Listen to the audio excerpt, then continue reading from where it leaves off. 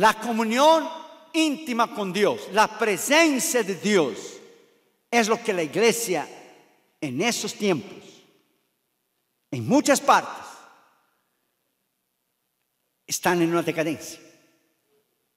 El símbolo de la presencia de Dios en el Antiguo Testamento era el arca, el arca del pacto.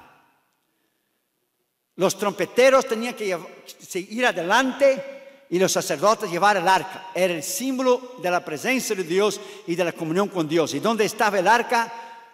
Estaba la presencia de Dios. Y era, era segura la victoria para Israel cuando estaba el arca. Pero cuando Israel pecó y acabó y se fue la gloria de Dios, tomaron el arca y la usaron como un amuleto contra los filisteos.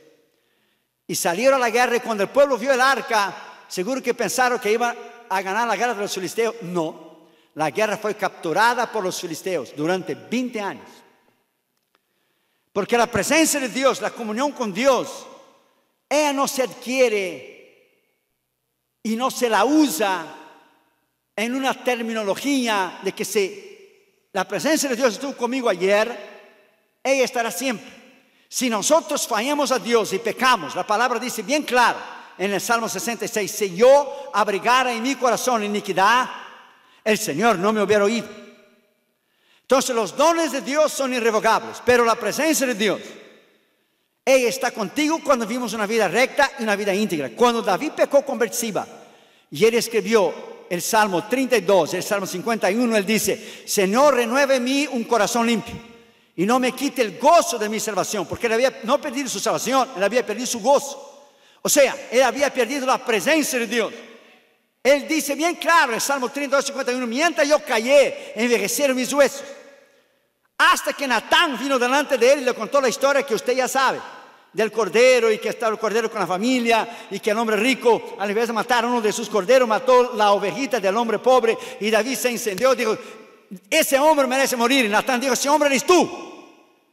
Y Dios le dijo a David, yo fui contra tus enemigos, yo maté a Saúl, yo te puse en el trono, yo te di todo, absolutamente todo. Y él durmió con Betsiba y no era necesario, porque David tenía nueve mujeres.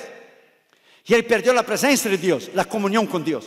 No hay nada más terrible, porque el que no conoce a Dios no sabe lo que es la presencia de Dios, porque no tiene el Espíritu Santo. Pero el cristiano que ha tenido el poder de Dios y el Espíritu Santo, ya ha experimentado lo que es las promesas del siglo venidero, como dice Hebreos 6, y él pierde esa comunión, y él peca, y él se aparta. Cuán terrible se siente la persona cuando falla a Dios, sí o no. Terrible porque la presencia de Dios ya no está más ahí. Nos acordamos de los tiempos pasados, del avivamiento, del poder, de la unción. Esto es lo que hace falta a la iglesia hoy en día, la presencia de Dios. La iglesia hoy está viviendo de eventos, de conciertos, de shows, de predicadores, de falsas doctrinas, que hoy han surgido en las redes sociales unos don Juan de los palotes que no se sabe quién es y predica una cosa, el otro predica otra, el otro predica el otro. La iglesia ya no tiene doctrina, la iglesia ya no tiene base, la iglesia ya no tiene madurez, la iglesia ya no camina en la presencia de Dios y en el poder de Dios, porque están oyendo a hombres sin doctrina, están oyendo a hombres sin comunión con Dios, todo es grito, es show, eh, eh, eh, estamos en un caos. La iglesia necesita volver al lugar secreto de la oración, al lugar secreto de la comunión con Dios. La iglesia necesita volver a oír la voz de Dios.